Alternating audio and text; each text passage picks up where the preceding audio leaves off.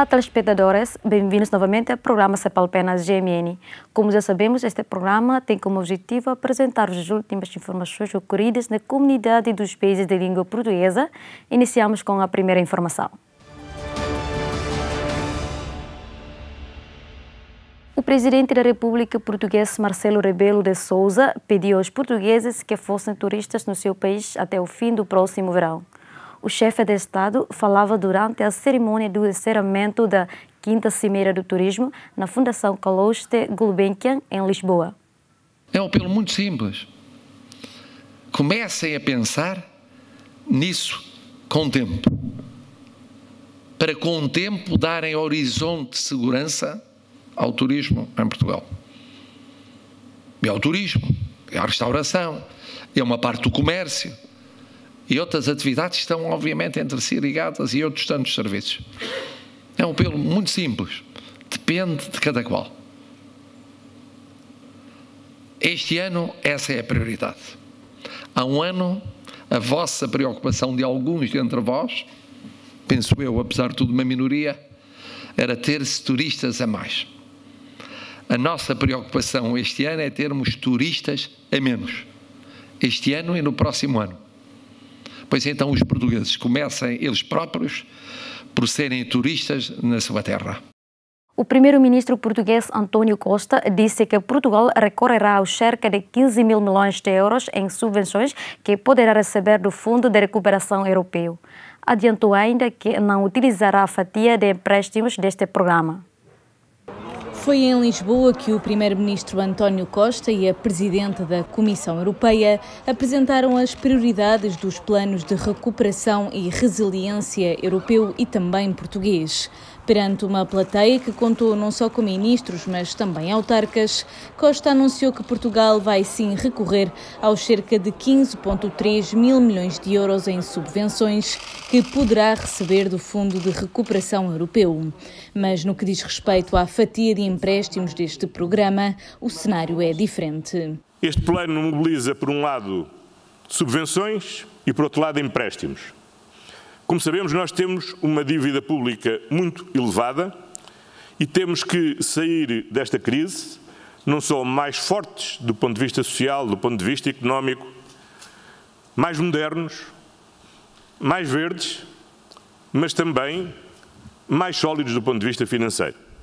Por isso, a opção que temos é que recorreremos integralmente às subvenções e não utilizaremos a parte relativa aos empréstimos, enquanto a situação financeira do país não o permitir. O primeiro-ministro avançou ainda que Portugal quer ser dos primeiros países a fechar este plano de recuperação da União Europeia. Já o discurso da presidente da Comissão foi marcado por elogios ao povo português. Portugal is not only well placed to make the most out of Next Generation EU, but it can provide a blueprint for all the others. I give you an example. Next Generation EU will place a strong emphasis on reforms all over Europe. And Portugal has a lot of experience in doing this, from the very difficult reforms of the past to the more recent reforms in areas going from lifelong learning reforming the healthcare sector, or tackling labor market segmentation to give youth a perspective for the future. Von der Leyen aproveitou ainda o momento para elogiar a extraordinária responsabilidade e resiliência dos portugueses à pandemia. A presidente da Comissão Europeia irá ainda participar esta terça-feira na reunião do Conselho de Estado em Cascais, a convite de Marcelo Rebelo de Sousa. Timor-Leste, Japão e a Unesco criaram o Comitê Diretivo para o projeto de reforço de aprendizagem, ciência e matemática no ensino primário. A primeira reunião do Comitê Diretivo do Projeto Reforço de Áreas das Ciências e Matemática no ensino básico do primeiro ciclo decorreu no Hotel Novo Turismo Dili. O objetivo do encontro foi proceder à escolha dos membros do Comitê Diretivo. O projeto, com a duração de ano e meio, será focado na formação dos professores, em particular nas áreas das ciências e matemáticas relativas ao primeiro e segundo ciclos do ensino básico. Como sabemos, a ciência e matemática constituem duas áreas de grande desafio para Timor-Leste.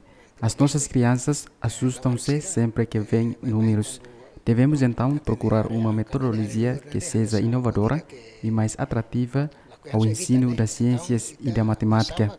Bele busca metodologia técnica neve que inovativo, neve que dia para usar bele for motivação para lavar o projeto em causa é fruto da colaboração da Organização das Nações Unidas para a Educação, Ciência e Cultura e dos governos timorenses e japonês. Todo o seu apoio é concedido pelo governo nipônico.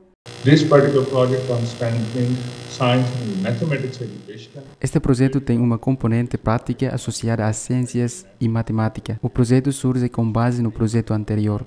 Quase 30% dos professores trabalham com sucesso, merece do apoio do nosso Comitê Nacional e do Ministério da Educação na atualização dos currículos e manuais. Gostaria também de voltar a afirmar o nosso apoio, que constitui um dos objetivos do desenvolvimento e sustentabilidade do número 4 da Unesco, com o escritório da Unesco sediado em Jakarta Queremos manter o nosso trabalho em estreita colaboração com todos em Timor-Leste. In that regard, UNESCO office in Jakarta is ready and continues to work very closely with the, uh, everyone in Timor-Leste. Neste projeto, o governo japonês disponibilizou equipamentos e materiais variados com um custo total a rondar os 2 milhões de dólares. In Timor-Leste, the education sector is facing many challenges such as em Timor-Leste, o setor da educação enfrenta muitos desafios, tais como a falta de instalações e de recursos humanos. Acredito que com a nossa ajuda será possível a construção de novas infraestruturas e trará mudanças para a educação. Metade da população de Timor-Leste tem menos de 20 anos de idade. Isto significa que se deve dar prioridade ao setor educativo em prol da nova geração, apostando no desenvolvimento da economia do país. Por isso, o Japão irá trabalhar em parceria com as várias entidades para a construção do futuro de Timor-Leste. Develop and increase economy diversification for future generation. And Japan will keep working together for better future of o Comitê Diretivo do Projeto Reforço das Áreas das Ciências e Matemática no Ensino Básico do primeiro ciclo é presidido pelo Ministério da Educação, Juventude e Desporto, Armindo Maia, embaixador do Japão em Timor-Leste, Masami Kinefuchi e diretor da Unesco para a Ásia, Shabas Khan. Inicialmente, o programa será implementado no município de Dili. No Brasil, um governador foi alvo de busca da polícia numa investigação sobre alegados desvios na gestão da saúde e dos hospitais. O governador do estado brasileiro do Pará, Helder Barbulho, foi nesta terça-feira alvo de buscas por parte da polícia. A investigação surge na sequência de alegados desvios na gestão de saúde e dos hospitais de campanha criados para atender pacientes de Covid-19. Segundo a informação divulgada pela Polícia Federal Brasileira, a investigação esteve em curso entre agosto de 2019 e maio deste ano. Durante este período, as autoridades policiais identificaram 12 contratos celebrados entre o governo do estado do Pará e organizações sociais ligadas ao grupo investigado. Estima-se que o valor do contrato seja de 1, milhões de reais ou cerca de 180 milhões de euros. As autoridades acrescentaram existirem outros suspeitos como empresários, operadores financeiros e elementos que integram a cúpula do governo do Pará. Em causa estão os crimes de peculato, corrupção passiva, corrupção ativa, branqueamento de capitais e organização criminosa com penas previstas superiores a 60 anos de prisão. A operação contou com a participação de 218 policiais federais, 14 auditores da Controladoria Geral da União e 520 polícias civis. O Brasil é o país lusófono mais afetado pela pandemia e um dos mais atingidos no mundo. Contabiliza atualmente mais de 4,7 milhões de casos e cerca de 143 mil óbitos. Em Moçambique, Maria Júlio, de 16 anos, catadora de lixo plástico, ajuda a estudar e a matar a fome. Em seguida, vamos acompanhar a reportagem na íntegra.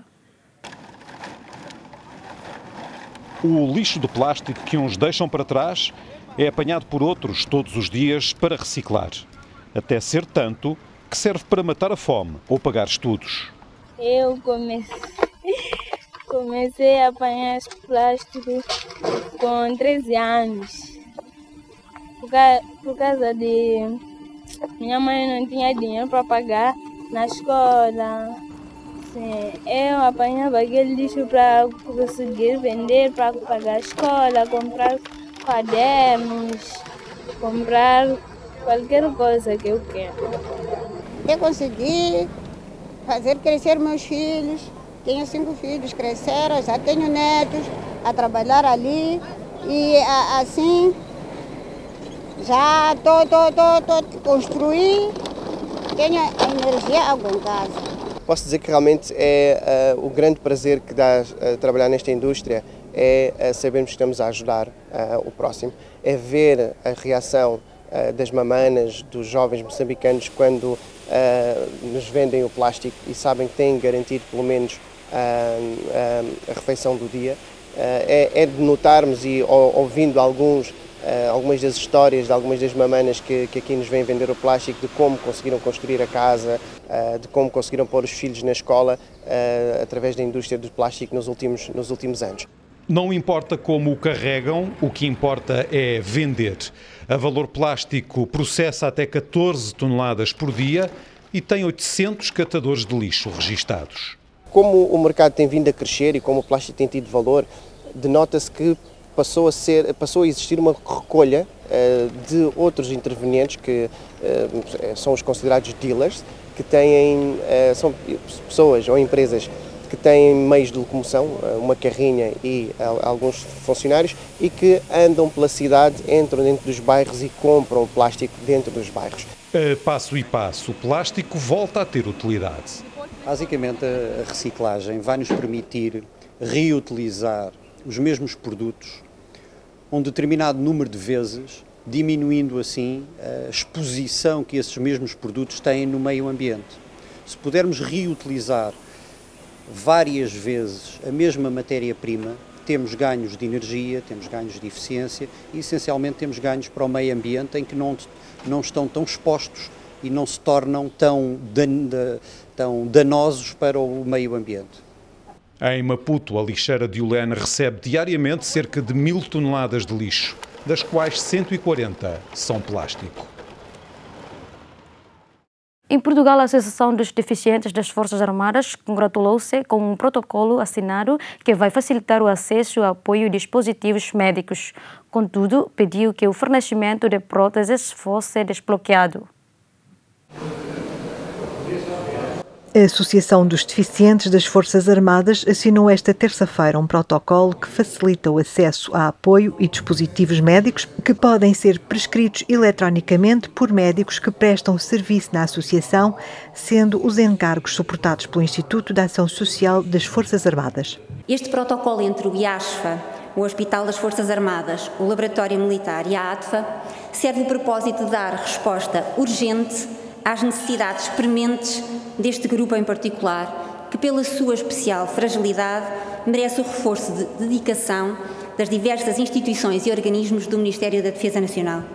Mas o presidente da associação aproveitou a ocasião para chamar a atenção para o momento difícil que os deficientes das Forças Armadas atravessam. As verbas estão, continuam retidas e, neste momento, temos grandes deficientes que usam próteses, ortóteses, cadeiras de rodas, e também dos produtos de apoio, que neste momento é muito difícil estão, então, usufruírem desses apoios e estão paralisados. E nós não compreendemos como é que todos os anos são aprovados, aprovados na, pela Assembleia, pela, pela a Assembleia da República 20 milhões de euros para, para fazer face à saúde dos centros militares e destes 20 milhões, 2 milhões e 300 mil euros por volta disso são para as próteses e ortóteses e cadeiras de rodas são fundamentais para que as pessoas possam garantir o seu dia, a dia. E nós damos este exemplo. Se um cidadão aí na rua, nas ruas de Lisboa, for atropelado e o INEM o levar para, para, para a urgência do Santa Maria, ele não chega à urgência do Santa Maria e diz agora não temos dinheiro para ir a ver se há dinheiro. Não. Isto não, não acontece. E conosco, neste momento, com os grandes deficientes, ao nível das próteses e produtos de apoio, está a acontecer. De facto, as pessoas vão ao hospital ao agafar, o médico escreve, mas depois chegam à parte do fornecimento, não há verbas. Na ótica do presidente da Associação dos Deficientes das Forças Armadas, esta situação, que se arrasta praticamente desde janeiro, coloca em causa os direitos humanos e fere a dignidade dos deficientes militares que estão profundamente frustrados e a viver num sufoco. O governo de Portugal vai lançar um esquema de comparticipação públicas aos operadores do setor de turismo para que ofereçam descontos aos clientes. O anúncio foi feito pelo ministro Pedro Cisa Vieira no encerramento da quinta Cimeira Turismo Português, que decorreu na passada segunda-feira em Lisboa. O, setor do turismo está a ser muito afetado por esta quebra de procura e, portanto, temos a preocupação de, entre outras medidas, lançar estímulos à procura interna. O que é que isto significa? Vamos, por um lado, promover com um conjunto de operadores do setor um programa de descontos aos portugueses. Os eh, operadores no setor do alojamento, da restauração, eh, da animação turística, da cultura, que sejam capazes de eh, oferecer descontos aos seus clientes, o Turismo de Portugal irá comparticipar nesses descontos. É menos custo para os portugueses que possam procurar estas experiências e eh, um esforço comparticipado pelo Turismo de Portugal. A segunda linha que vamos fazer é uma linha para os organizadores de eventos e de espetáculos. Está a ser um setor particularmente martirizado porque as regras sanitárias que temos diminuem a lotação das salas de espetáculos espetáculos ou dos locais onde se realizam eventos. E por isso nós estamos a fazer um complemento da receita que os promotores possam ter com a venda de bilhetes, no sentido de lhes compensar a receita que deixam de obter por causa das limitações de lotação. Na Quinta do Ferro, em Lisboa, o cenário é descrito pelos moradores como assustador e uma miséria. Neste bairro, há quem viva sem luz e ainda despese os desertos na rua como em séculos passados. No coração de Lisboa, na freguesia de São Vicente, uma zona central situada perto do bairro da Graça e de Santa Apolónia, encontra-se a Quinta do Ferro. Quem lá mora fala em miséria e na falta das condições básicas de saneamento. Há quem viva sem luz, sem água e sem casa de banho. Se há prédios que estão com bom aspecto, outros estão completamente degradados, ainda que se encontrem habitados. A minha casa está a ruir, tenho uh, o chão a bater e a senhoria nunca quis fazer nada. E neste momento eu tinha uma ajuda de Santa Casa da Misericórdia e ao fim do ano tiraram-me e eu deixei de pagar as rendas. Já cá vieram os fiscais, já cá vieram a proteção civil, dizem que eu estou em risco, em ruína, mas a Câmara não me mete a mão. Onde a gente vive, que isto é uma miséria. Agora, por causa do Covid, as pessoas não têm água, há muita gente aqui a viverem com mais dificuldades. E eu tenho medo, tenho um filho e a gente não sabe as condições que vivemos. Vocês têm aqui os chafariz ao pé e veem que realmente as pessoas vêm aqui despejar tudo e mais alguma coisa. Desde o xixi, do cocó. Acho que não temos uma higiene. Há cinco anos que a Quinta do Ferro anda à, à espera de uma resposta da Câmara e a Câmara não, não se lembra que isto aqui existe. Nós estamos no meio de uma cidade. É que é mais triste é que nós estamos no meio de uma cidade de Lisboa e não há meio de termos uma solução.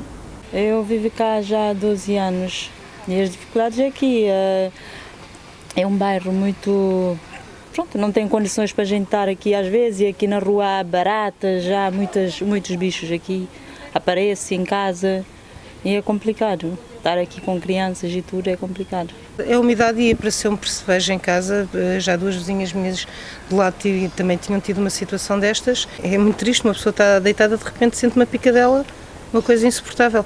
De momento eu estou a dormir na minha carrinha.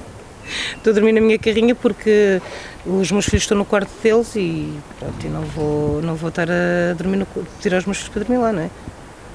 Privacidade. Então vim para a minha carrinha, à porta de casa. Rosa Gomes, da Associação Amigos da Quinta do Ferro, que junta proprietários e moradores, fala das principais dificuldades sentidas no bairro. É a habitação condigna para as pessoas, é o emprego e darem trabalho às pessoas, não terem as pessoas a viver do rendimento mínimo. O rendimento mínimo acrescido mais alguma coisa dá para as pessoas irem trabalhar.